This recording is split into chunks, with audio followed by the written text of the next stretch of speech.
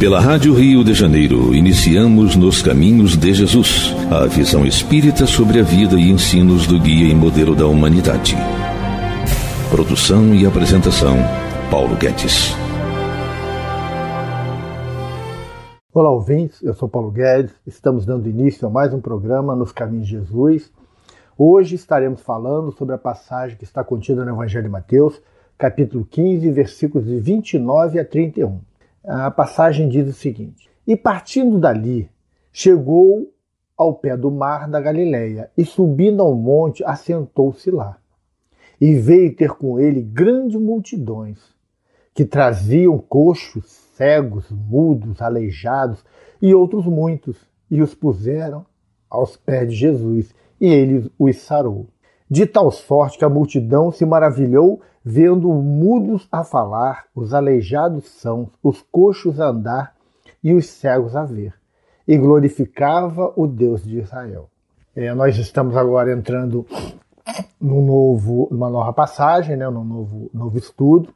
Nós falamos semana passada sobre a mulher, né, sobre aquela passagem da mulher é, cananeia, e aí estudamos semana retrasada, semana passada, terminamos, e aí, seguindo, dando sequência, começa assim, partindo dali Jesus, né? Jesus parte e vai, chegou ao pé do mar da Galileia, e aí começa uma nova, uma nova passagem, onde Jesus executa diversas curas.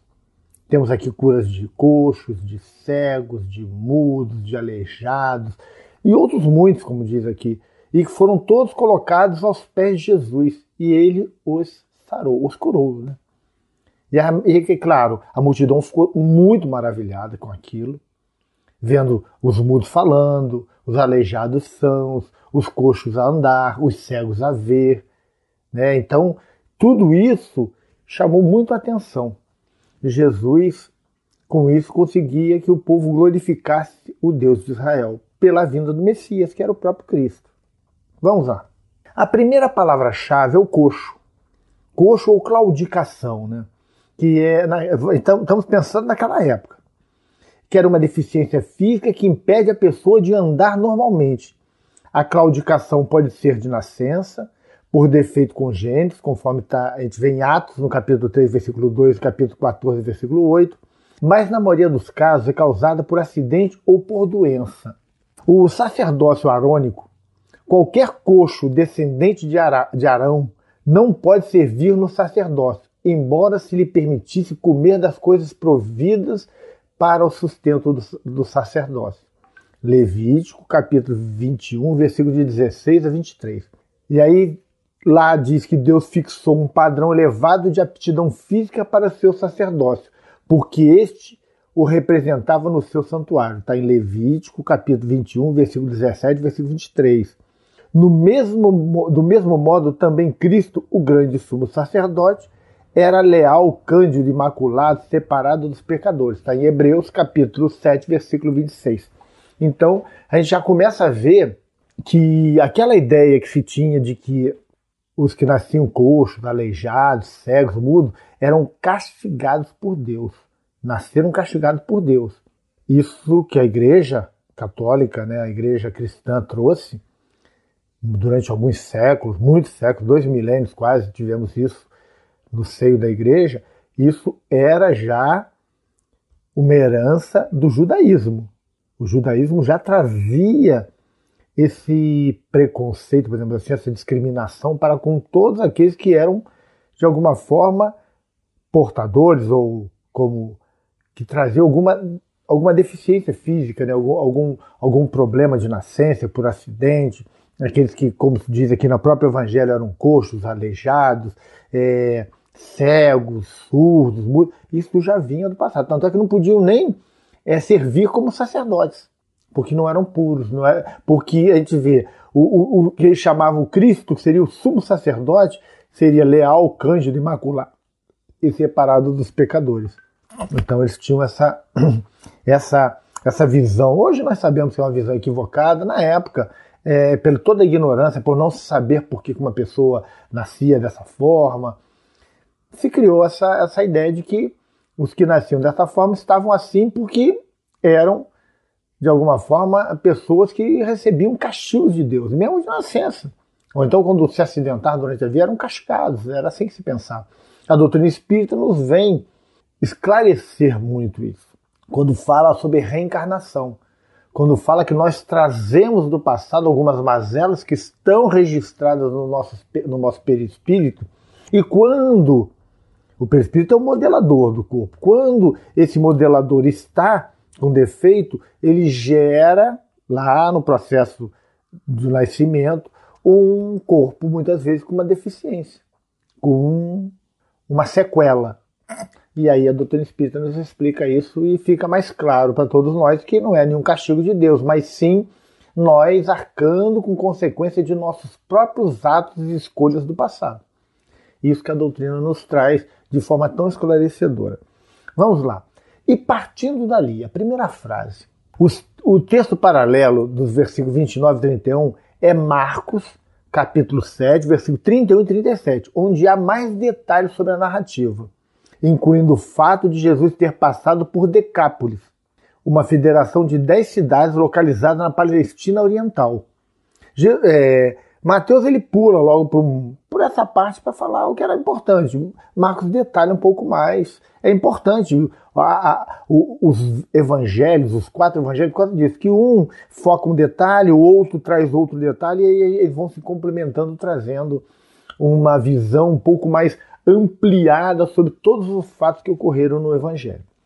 A área contava com numerosa população gentílica, o que é indicado indicado pela presença de muitos suínos, como na história da cura dos dois endemoniados gadarenos, em Mateus capítulo 5, versículo de 1 a 20, em Marcos capítulo 5, versículo de 1 a 20 também, e Lucas capítulo 8, versículo 26 a 39. Cristo visitou essa localidade fazendo um desvio incomum, tendo viajado desde Sidom até as praias orientais do Mar da Galileia. O Evangelho de Mateus, gente, não dá detalhes sobre a viagem e sobre a margem do, do mar por onde ele viajou. Marcos traz isso, como eu falei agora há pouco, e complementa um pouco essa nossa visão e a gente fica com um entendimento muito maior. Daí, continuando assim, subindo o monte, o monte do mar, lá no, do Mar da Galiléia. É evidente que isso foi na margem oriental.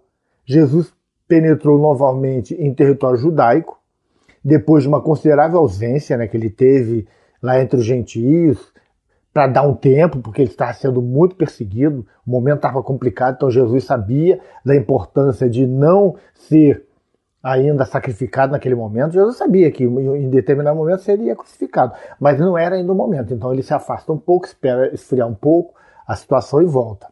Porém, não contamos com informações suficientes para podermos afirmar por quanto tempo ele esteve ausente. Isso é um detalhe que a gente tem que deixar aqui registrado. O Evangelho não diz quanto tempo Jesus ficou afastado das terras judaicas.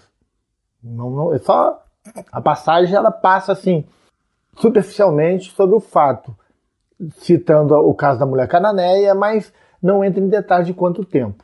E aí, subindo ao monte, assentou-se ali. Mateus capítulo 14, versículo 23 mostra que Jesus fez a mesma coisa do milagre de andar sobre o mar e antes da grande controvérsia com os espiões enviados de Jerusalém. É subir ao monte, sentar ali, falar com o povo.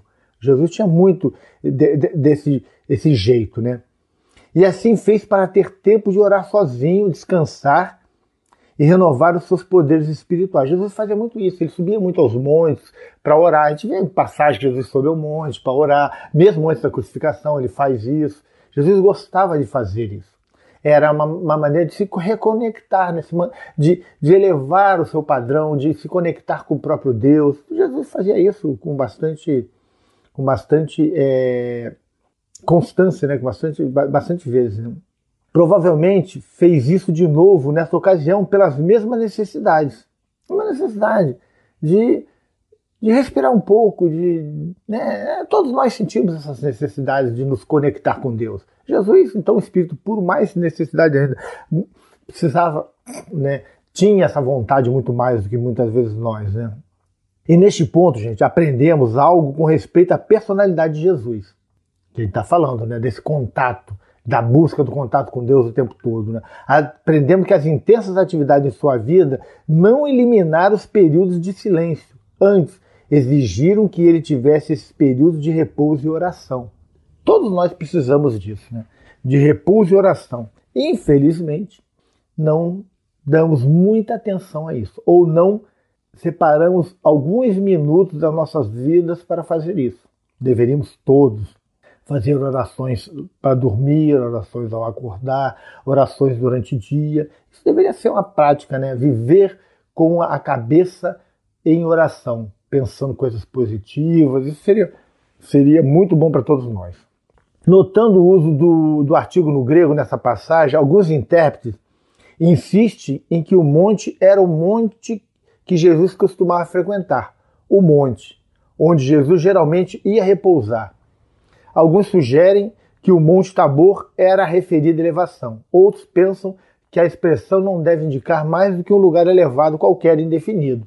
É, não está citado. E qual é a importância? Se era o Monte Tabor, se o Monte das Oliveiras, qual é a importância? Não tem. O importante é o fato que ocorreu. Jesus parar, se colocar em oração, se preparar sempre para falar com o povo. Isso que é o mais importante. Não é se estamos, se Jesus estava no local X ou Y. Não é isso. Não é isso que importa. Mas sim a maneira pela qual ele vivia e os atos que ele que ele praticou. Vieram a ele. Jesus não se cantou por muito tempo. E o povo chegou a fim de ser curado e não para receber instrução. Naquele momento, as pessoas, que era muito comum, e a gente vê muito isso hoje. As pessoas vão às casas espíritas para receber cura de obsessão, cura de doenças. Elas não, muitas vezes não querem saber da doutrina, de instrução. Tanto é que os, os, os estudos são muito menos frequentados que, por exemplo, os trabalhos, as atividades que beneficiam os indivíduos de alguma forma, no questão da saúde e outras coisas desse tipo. Coxos de pés, pernas e braços. A palavra tem sido usada para indicar a perda de um pé ou de uma perna. Aleijados, vocábulo usualmente utilizado para indicar uma pessoa dobrada pelo meio por causa de reumatismo. É o que se usa na época, gente. É, é interessante a gente entender o que era na época e não o que é hoje. Em Mateus capítulo 18, versículo 8, a palavra parece ter o sentido de mutilado e alguns intérpretes acham que o milagre notável nesse caso foi a restauração de pernas, pés, etc., que se haviam perdido totalmente. Milagres como o da multiplicação dos pães, um tipo de criação. Cegos que poderiam sê-lo de nascença ou por motivo de algum acidente. Mudos, que no grego significa estúpido ou embotado usado pelos autores gregos para indicar falta de percepção mental ou dificuldade no falar, ou ver e no ouvir, mas que no Novo Testamento era a palavra usada somente para indicar surdez e mudez. Contexto indica a alusão.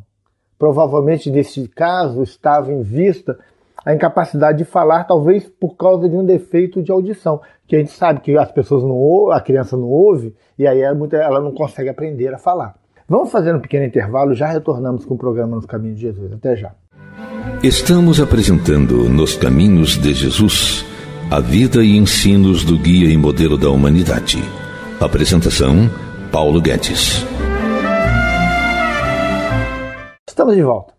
Hoje estamos falando sobre a passagem contida no Evangelho de Mateus, capítulo 15, versículos 29 e 31, que diz o seguinte: Partindo Jesus dali, chegou ao pé do mar da Galileia, e subindo ao monte, assentou-se lá. E veio ter com ele grandes multidões, que traziam coxos, cegos, mudos, aleijados e outros muitos, e os puseram aos pés de Jesus, e ele os sarou. De tal sorte que a multidão se maravilhou, vendo os mudos a falar, os aleijados são, os coxos a andar e os cegos a ver, e glorificava o Deus de Israel. Então, nós estamos falando hoje sobre a passagem que Jesus cura as pessoas. Né? Cura as pessoas. E a gente vê aí falando sobre várias. Já falamos aí sobre os, os coxos, o que, que eram os coxos, o que, que eram os aleijados, o que, que eram os mudos. E aí tem os muitos outros. A intenção óbvia do, do autor aqui é demonstrar que Jesus tinha capacidade para curar todas as enfermidades Muitos outros aí engloba todos os tipos de, de, de enfermidade. Até as mais difíceis. E que seu ministério tanto se concentrava amplamente no ensino como nas operações milagro, milagrosas, que eram as curas, a multiplicação de pães e outras coisas que Jesus fez. O texto indica que havia muitas pessoas que precisavam da intervenção imediata de Jesus. E isso não permitia o tratamento imediato de todos os casos. Esse fato também demonstra o grande poder espiritual de Jesus. Se seu poder tinha de ser praticado rapidamente com êxito. A fraude jamais pode passar por essa exigência. Jesus era pegado, era, era pego, né, em diversas situações e era chamado a fazer os seus ditos milagres rapidamente. Não tinha tempo para preparar fraude, as coisas aconteciam. O povo chegava ele tinha que estar pronto. Como ele anda na, na, na coisa, os cegos o encontram, pedem, e tantas outras passagens que a gente vai vendo aí durante o Evangelho de Mateus, que fala sobre isso. Não havia tempo para se preparar qualquer coisa. Era no improviso, assim, de, de sur, surpresa, supetão, né? as coisas chegavam, aconteciam, pediam e Jesus fazia. A gente vê a, a, a, a ressurreição de, de Lázaro, a, o, o servo do centurião que chega no Jesus, pede ele à distância, o cura, tantas outras coisas, né? Jesus mostrando aí a, a sua grande força. Né? E aqui fala assim: largaram junto aos pés de Jesus. Podia ser traduzido por lançar ou jogar aos pés de Jesus o que indica a pressa que tinham, bem como o grande número de pessoas que necessitavam de cura. Como também, gente, talvez a grande confiança do povo nos poderes de Jesus. Entre essas curas, Marcos salienta especialmente uma, a de um surdo e gago. A gente vê lá em Marcos, no capítulo 7, versículo 32 e 35. Marcos cita um, um, um caso. Mateus passa dizendo só que ele curou. Marcos citou um caso aqui em especial, que é o surdo e gago né, que, claro, por ser surdo, tinha dificuldade no falar. E aí, Jesus, com a sua força espiritual, com a sua mão maravilhosa, cheia de energias balsâmicas, cura esse indivíduo. E ele fica são. Aí está assim, de modo que o povo se maravilhou. O povo aproximou-se esperando ver os milagres notáveis que tinham ouvido ser feitos por Jesus. Eles tinham escutado as histórias. Mas o espetáculo ultrapassou todas as expectativas. Uma multidão de doentes foram curados. Doenças de todos os tipos, dos mais graves aos mais simples. Jesus cura ali naquele momento várias e várias pessoas. E aí a multidão ficou extasiada, maravilhada e, claro, vai fazer a glorificação ao Deus de Israel. O título que davam a Deus era Deus de Jacó no Velho Testamento, a gente vê isso. Os judeus usavam Deus de Jacó, a fim de distingui-lo dos muitos deuses dos gentios. Alguns intérpretes acham que o uso dessa expressão nesse ponto indica que esses milagres tiveram lugar em território gentílico e que Jesus ainda não saíra totalmente do, do território gentílico em sua viagem de Sidom ao Mar da Galileia. Provavelmente, porém, como outros interpretam, o autor só queria dar ênfase ao poder de Jesus, proveniente de Deus, do Deus de Israel, e o que Jesus demonstrava por ser o Messias de Israel.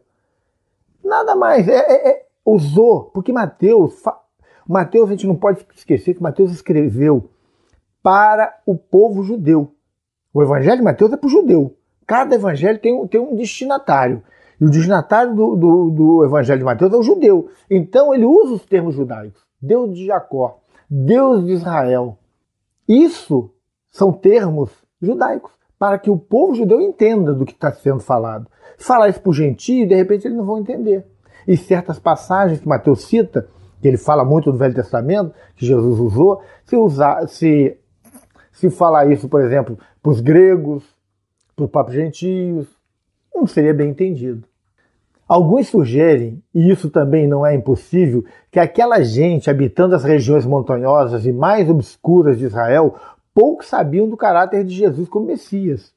E talvez estivesse acostumado a comparar o Deus Israel com os outros deuses dos povos gentios, com os quais aqueles habitantes tinham constante contato. Nós podemos esquecer que Jesus estava passando por uma área fronteiriça entre os gentios e judeus. Então ali havia muito contato. Pode ser isso? Sim, pode ser. O que alguns, alguns intérpretes interpretam e poderia ter aceitado isso. Já tinham visto muitas coisas realizadas em nome de diversos deuses, mediante a prática da magia. Só que Jesus não faz magia. Jesus faz, usa das energias que ele tem e faz curas, não era magia. Isso é que a gente precisa entender. Já tinha ouvido muitas outras histórias sobre as maravilhas operadas pelos deuses, incluindo o Deus de Israel. Naquele dia, porém, foi diferente, né? Contemplar o que nunca antes tinham visto. Aqueles milagres, aquelas curas foram feitas em nome de Deus de Israel. Por isso é que glorificavam a Deus de Israel. Jesus era o Messias do povo judaico. Então, ele falava ali ao povo de Israel, em nome do Deus de Israel. Deus de Israel. Qualquer coisa adorada pode ser chamada de Deus, visto que o adorador atribui a ele poder maior do que o seu próprio e, a, e o venera. Alguém, alguém pode até mesmo fazer de seu ventre um Deus. A gente vê isso em Romanos, capítulo 16, versículo 18, Filipenses, capítulo 3, versículo 18 e 19. A Bíblia faz menção de muitos deuses. Salmo 86, versículo 8, primeira carta aos Coríntios, capítulo 8, versículo 5 e 6. Mas ela mostra que os deuses das nações são deuses que não valem, conforme está em Salmo, capítulo 96, versículo 5. Não é o Deus verdadeiro, são os deuses que a gente vê por aí. Termos hebraico. Entre as palavras hebraicas traduzidas por Deus, este El provavelmente significado poderoso, forte. Gênesis capítulo 14, versículo 18. Ela é usada com referência a Jeová, que é um nome que até os irmãos nossos testemunhos de Jeová usam, a outros deuses e a homens. É também usada extensivamente na composição de nomes próprios, tais como Eliseu, El, né, tirou o L, né, Eliseu, que significa Deus é salvação, é nome de pessoa. 1 Reis, capítulo 19, versículo 16. E Miguel, né, está lá o final, é L, que é semelhante a Deus. Reis, capítulo 12, versículo 7.